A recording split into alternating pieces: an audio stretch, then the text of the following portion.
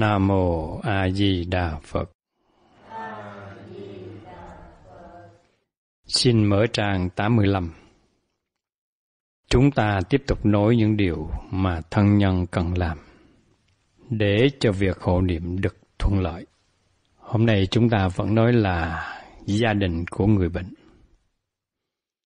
Ảnh hưởng đến người bệnh rất mạnh. Nếu mà gia đình sắp xếp việc hộ niệm cẩn thận, lo liệu trước thì cái xác suất người bệnh khi mà xả bỏ báo thân được vãng sanh rất cao. Nếu trong gia đình mà lơ là, không chuẩn bị trước, thì dẫu cho một ban hộ niệm tốt có nhiều kinh nghiệm, cũng khó mà có thể cứu được. Người bệnh đã thoát qua những cái cảnh khổ của chính họ. Nói chung là nghiệp trước, bệnh khổ, oán thần trái chủ. Chính vì thế mà ngày hôm qua chúng ta nói là vấn đề hộ niệm còn nên lo trước. Rất nhiều người không để ý chuyện này. Thường để đến lúc cuối cùng rồi thì tự mình thấy quýnh quán lên. Và cũng có nhiều người nghiên cứu hộ niệm nhưng mà tự mình âm thầm nghiên cứu không có phổ biến ra, không có cho gia đình biết. Và cứ tưởng rằng là pháp hộ niệm đơn giản. Mình nhìn thấy thì đơn giản, nhưng mà khi chính mình đối diện với cái hoàn cảnh của người thân thì mình sẽ rối như tơ vò, không cách nào gỡ được. Đây là sự thật. Trong mấy ngày hôm nay có hai cái ca điểm người ta đang liên lạc để mà nhờ dòm khai thị dùm. Nhưng mà dòm cũng xin nói trước với chư vị là không phải dòm này có cái thần lực gì mà có thể khai thị cho người bệnh, làm cho người bệnh không còn vướng mắc đâu. Làm cho người bệnh vãng sanh hoàn toàn không phải như vậy. Mà tất cả đều do cái duyên khởi, xin chư vị nhớ chữ duyên này. Mình đưa ra ví dụ cụ thể như cụ Hoàng Văn Nguyên ở ngoài Bắc. Sở dĩ là khi mình nói một lời rồi, cái là sau đó cụ chuyển là sở dĩ có cái duyên chứ không có gì hết đó chư vị trước khi đó thì do hỏi là gia đình như thế nào ông cụ như thế nào thì mới hiểu rằng là chính những vị đó ở bên Âu Châu mỗi lần mà dâm qua là các vị đó đều tham gia đầy đủ không có một cái pháp hội nào mà, mà mấy vị đó vắng mặt hết mà rất là nhiệt tình rồi chính nhờ cái nhiệt tình của người mấy người con ở bên Âu Châu mà truyền về gia đình của họ là mỗi lần vị dâm về là gia đình đó đều tham gia đầy đủ hết mà rất là mến. Chính nhờ cái lòng mà mến mộ nhau đó mình nói mới được. Còn ví dụ như khi mà hỏi ra cái ông cụ để hồi giờ có biết ừ, dòm này là ai không? Không biết. Hồi giờ có ừ, nghe và hồi niệm không nghe. Thì thôi chịu thua mình đứng trực tiếp nói chuyện này nữa cũng không có ảnh hưởng một chút xíu nào. Huống chi là tội nói qua điện thoại. Cho nên ví dụ như trong nhà chúng ta mà người mẹ chúng ta nói là khi mà ra đi thì mời một vị thầy đó tới làm lễ cầu siêu, thì chúng ta nên mời thắng cái vị thầy đó. Thì cái vị thầy đó tới cầu siêu cho người của mình có cái hiệu quả tốt. mà mời một người khác thì không tốt lắm. Tất cả đều do cái duyên. Chính vì mình mến mộ mình thành kính, mình cung kính người đó mà người đó ta nói một câu, tự nhiên có ảnh hưởng. Còn khi mà không có cái duyên này thì thôi chịu thua, không cách nào nói được. Chính vì thế mà xin thưa với chư vị, đừng có bao giờ nghĩ rằng là cái pháp hộ niệm đơn giản quá. Cứ tự mình nghiên cứu được về hộ niệm cái người mẹ mình được, người cha của mình được không phải. Mà mình biết cố tình là gieo cái duyên trước, khuyên mẹ, khuyên cha, khuyên người thân của mình hộ niệm, tìm mọi cách nói. Để chi? Để cho người cha, người mẹ, người thân mình có cái ý thức trước. Và thí dụ như muốn một cái ban hộ niệm nào đó mà tới hộ niệm cho người mẹ của mình mà được hiệu quả là mình phải làm sao để cho mẹ mình, người thân mình kết duyên với cái ban hộ niệm đó trước. Để chi? Họ mến nhau. Vì cái mến nhau đó mà nói một câu là người ta nghe một câu. Nói một điều là người nghe một điều. Còn không mến thì thôi chịu thua. Điều này là điều hết sức là quan trọng. Trong Pháp Phật gọi là duyên khởi là như vậy Tất cả đều do cái duyên mà nó khởi ra. Hãy có duyên với nhau thì người ta nói được, không có duyên thì châu chịu thua. Một người ở thật xa mà mến mộ mà thương mình, dù là bắt cái điện thoại mình nói, vẫn có hiệu lực như thường. Một người ở sát bên mình mà người ta ghét mình, người ta không nghe lời mình, thì giấu cho mình nói gì nói, cũng không ảnh hưởng. Mà mình càng nói họ càng hư nữa, càng nói họ càng tức nữa, họ càng nói họ càng đi vào cảnh giới xấu nữa. Điều này chúng ta phải chú ý cho kỹ. Gọi là duyên khởi, tất cả đều có cái duyên. Hôm nay chúng ta nói tới cái câu trì. Gia đình nên nhớ, đợi đến lúc mê mang bất tỉnh, đang hấp hối hay sắp lâm chung, nhiều ban hộ niệm không đủ khả năng đảm nhận hộ niệm. Đúng không chưa vậy? Thực sự, bây giờ mình nói ra đây mình mới thấy là cho những người mà hộ dược không hiểu cái tại sao là ban hộ niệm mà người ta chết không tới hộ niệm. Bây giờ mình mới thông cảm cho cái chỗ này là nếu mà để đến mê mang bất tỉnh mà kêu cái ban hồ niệm thì ban hồ niệm không có một cái thần lực nào để cứu một người mê mang bất tỉnh hồi giờ chưa biết gì nào chưa biết gì vẫn sanh mà người ta khai thị hướng dẫn được. Có khai thị hướng dẫn thì cũng chỉ là khai thị hướng dẫn trên hình thức làm cho người sống được an tâm phần nào. Đỡ cô đơn quạnh quẻ trong lúc có một cái người thân trong gia đình sắp sửa ra đi. Chứ không cách nào người ta cứu được cái người đang nằm đó mà bị vướng nạn Mong chư vị hiểu như vậy cho nên không bao giờ mà để đến mê mang bất tỉnh, rồi mới mời ban hộ niệm. Giả sử như đồng tu chúng ta hàng ngày chúng ta tu chung với nhau hiểu được pháp hộ niệm, đã nghe được pháp hộ niệm, đã có ý thức với nhau rồi. Đùng một cái vì tai nạn hay cái gì đó bất tỉnh, chúng ta vẫn có thể đến hướng dẫn hộ niệm được. Tại vì sao? Tại vì trong chính tâm thức của họ đã có sự chấp nhận vấn đề hộ niệm rồi. Người ta biết rồi. Mình đưa ra ví dụ như trường hợp là Quỳnh à, Quán Trương là một cái trường hợp anh đã bị mê man bất tỉnh. Nếu mà không kịp đem về nhà thì cái ngày đó là anh ra đi rồi. Mê man mất tính là một điều khó khăn. Nếu trước đó anh hoàn toàn không biết dầu niệm thì nhất định chúng ta phải buông tay. Không cách nào có thể cứu được. Chỉ nhờ là cầu siêu rồi à, hội hướng công đức may ra kiếm được phước nào hai chút phước đó. Không cách nào chúng ta cứu được. Nhưng mà chính hàng ngày anh có đến đây cộng tu hàng tuần anh có đến đây cộng tu mà anh đã quyết thề là anh sẽ vãng sanh tây phương cực lạc làm di chúc đàng hoàng chính nhờ cái duyên này mà mình có thể nói những lời mà làm cho anh giật mình. Tâm thức của anh giật mình cái thần thức của anh giật mình tỉnh ngộ. Định cái tâm lại. Tất cả nó đều có ở sẵn trong cái tâm của anh rồi. Thì mình mới cứu được anh.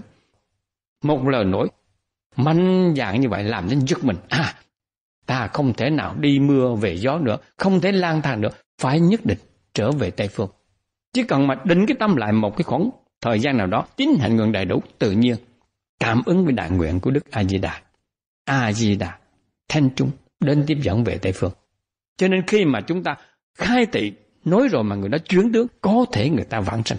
Mình thì bây giờ tâm gì, à, mắt thịt, tâm phàm mình không biết. Nhưng mà tại sao lại sau khi mình nói như vậy người ta chuyển?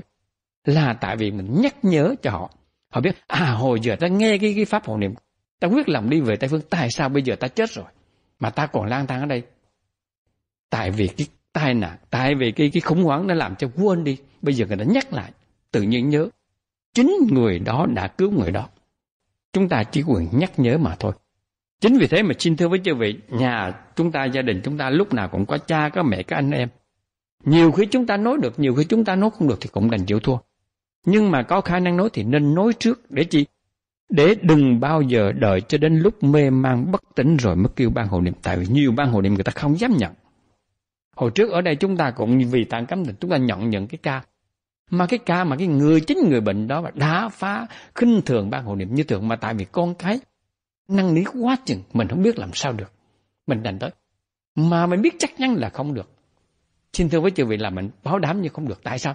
Tại vì mình đứng mình hộ niệm mà người ta kêu đứa con ra người ta la ta rồi. Tức là thay vì người ta la mình, người ta la đứa con. Đừng đem nói người này tới. Không cách nào chúng ta có thể cứu được. Chúng ta không có thần lực gì cả. Chính vì thế mà mong chư vị, muốn cứu người chúng ta phải kiên trì dữ lắm, khó lắm đó chư vị. Không phải đơn giản đâu.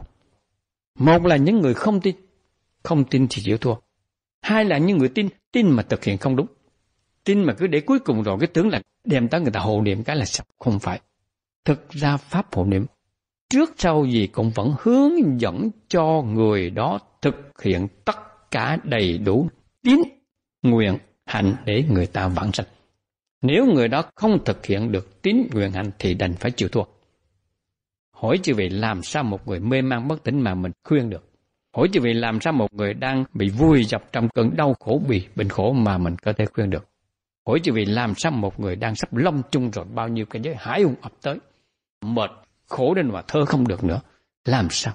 Tâm thần đâu mà họ nghe mình. Hiểu được như vậy chúng ta mới thấy Pháp hộ niệm chỉ là hướng dẫn cho chính người đó thực hiện được.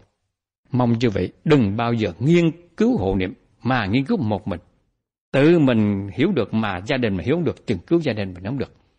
Có rất nhiều người cứ tưởng Pháp hộ niệm đơn giản. Không chịu nghiên cứu kỹ, vô tình đến lúc chính mình nằm xuống rối như tơ vò. Có những hiện tượng, có nhiều người tu niệm Phật mấy chục năm, mà sau cùng làm lạc đi con đường, sai đi cái pháp hộ niệm, chịu thua, cứu không được. Hiểu được như vậy, chưa vị phải nhớ, phải lo trước, đừng có lo sau. Câu ca là phải có người đại diện thường xuyên liên lạc với ban hộ niệm. Tất cả mọi biến chuyển của người bệnh đều phải thông báo thẳng cho trưởng ban hộ niệm biết liền. Đúng không chưa vậy? Thực sự đấy. Bây giờ mình cái cái điều quan trọng là thông báo những biến chuyển gì của người bệnh đây. Nó khó lắm để chứ không phải dẫn đâu chưa vậy. Khi mà đi hộ niệm rồi chưa vậy mới thấy. Có những cái mà người ta thông báo, có những cái người ta tưởng là không có phải là liên quan gì tới hộ niệm thì không cần thông, thông báo. Nhưng mà thật ra những cái điều mà người ta không còn nói là lại rất là quan trọng, rất là quan trọng. Đưa thẳng ra vấn đề ví dụ như anh anh anh anh, anh Trương của mình thôi chúng ai. Chị Hoa cũng vẫn thường tới đây, anh Trương vẫn thường tới đây, vẫn thường nhắc nhở là quyết lòng. Đi vận thành ngang ngang anh chị. Buông xa hết nghe anh chị. Có những gì phải thông báo cho tôi liền ngang ngang ngang anh chị nghe anh. Được, được, được. Như vậy mà có một cái rất là quan trọng mà người ta cái đó có liên quan gì tới hộ niệm đâu. Chứ vị biết không? Nói thẳng ra mình đưa ra những những cục. Đó là gì? Đó là cái cái một cái tập ừ, sách nhỏ chiếu này anh đóng vào cái tập nhỏ mấy chục trang. Anh ghi từng cái tên của người bác sĩ, từng cái số điện thoại của người bác sĩ và từng cái câu hẹn. Anh ghi rất là rõ. Mà cả gia đình nói cái chuyện này có liên quan gì tới hộ niệm đâu mà thực sự cái điều này lại là điều quan trọng tới hộ niệm mình không biết. Giả sử như hôm trước chuyện của anh anh chưa mà dâm không bắt được cái cái quyển sách đó nhất định cứu anh anh chưa không được. Nhưng mà khi điều tra hối rồi, thường thường cứ để người ta hộ niệm nhưng mà chính mình mình lên ở trên mình tìm. Mình tưởng là người ta tưởng là mình đi chơi nhưng mà thực ra dám đi tìm nguyên nhân nào mà anh bị kẹt tại đây. Tìm mãi tìm mãi thì sau cùng mới lột ra quyển sách đó. Thôi cái quyển sách gì đây? tiếp theo cái tập sách gì đây? Thì chị Hoa nói, trời cái, vì cái quyển này mà anh rầy anh la làm cho em muốn chết luôn. Tại sao vậy? Tại vì cái lần cuối cùng đi hẹn tới bác sĩ. Chị Hoa để cái, cái tập này chỗ nào quên mất. Cho nên anh tức lên. Mình lật ra mình thấy rõ ràng. Anh ghi từng số điện thoại một. Chứng tỏ rằng ảnh vẫn còn có cái tâm niệm là muốn cứu lại cái cơn bệnh này. Quý vị thấy không? Đơn giản như vậy. Trời ơi, bắt được cái đấy mừng quá rồi. Đúng mà, nếu cái này là đúng, thì khi chúng tôi nói thẳng, có thể anh sẽ chuyển. Chư vị, đây là những cái kinh nghiệm mà đi hộ niệm mình thấy. Mỗi người có một cái vướng mắt. Mỗi người có một cái kẹt. Chỉ có những người nào mà lịch lãm, hiểu biết hộ niệm nhiều mới phát hiện ra là cái lý do nào làm cho người đó bị kẹt. Hiểu được như vậy, thành ra là chúng ta nghiên cứu hộ niệm, nghe hộ niệm để tự mình cứu mình, buông những cái chấp đó ra. Và sau cùng nhờ những cái mà mình chuẩn bị trước như vậy, lúc đó ban hộ niệm nhắc nhớ một cái tự nhiên mình ngộ liền. Dẫu là mình đã tắt hơi rồi mà người ta nhắc nhớ vẫn có ảnh hưởng như thường. Còn khi mà mình khinh thường ban hộ niệm, mình không để ý tới, mình tưởng là đơn giản. Đến sau cùng rồi, xin thưa với chư vị, tự mình không cho nó quan trọng thì người ta nói gì nói mình cũng cho là chuyện bình thường. Vô tình chính cái chuyện bình thường đó nó trói mình lại trong lục đạo luân hồi mà mình không hay. Mong chư vị hiểu được như vậy chúng ta mới thấy Pháp hộ niệm tuy đơn giản nhưng mà vi diệu vô cùng. Cứu cả những người phàm nhân chuẩn bị đi vào tam ác đạo mà về tới Tây Phương thành đạo. Đơn giản nhưng mà tuyệt diệu vi diệu vô cùng. Mong chư vị hiểu được như vậy, phải quyết định, vững vàng để cùng nhau cứu nhau, vạn sanh Tây Phương cực lạc. Nam Mô A Di Đà Phật. Siêu pháp âm như lai, vang vọng khắp đất trời thấm sâu vào lòng đời, cho mưa hiền gió nhẹ nắng